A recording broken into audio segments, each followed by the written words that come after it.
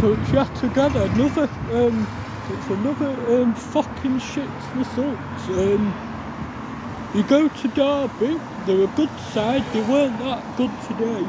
Um and we um we play all this back passing football and this and um, it doesn't work that way because it causes problems. We don't um, we, we go on the attack, then we lose it. You're not going to score goals by doing that, and that's what's happened every away match this season.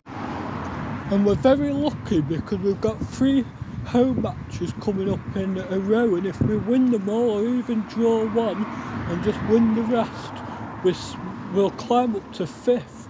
But that's all depending on Stevenage and Oxford. Stevenage and, Stevenage Oxford results went um, our way today, so that's why it keeps us like three points.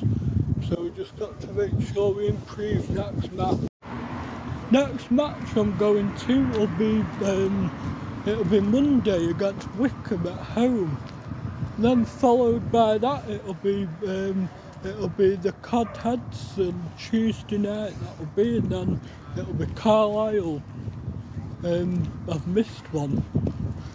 Um, that's how it goes. It goes Wycombe on, um, on Monday night, Easter Monday, or in the day, whatever. And then, and then we've got um, we've got a game on Saturday. I've not looked at the fixtures, so I don't know who we've got. But um, but no, that's away. So um, yeah.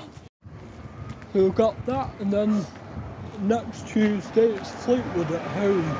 So um, I hope you enjoy this video. Let's let's hope we win three matches in a row at home because if we do that, we go to fifth position depending on Oxford and Stevenage because they're dropping points at the minute and they've done us a favour today. So well done. Um, thanks for watching this video. It's Good Friday so I'm off going to party and get pissed now. I'm going to get really pissed because that's what happens at Easter. So I'll see you in the next video.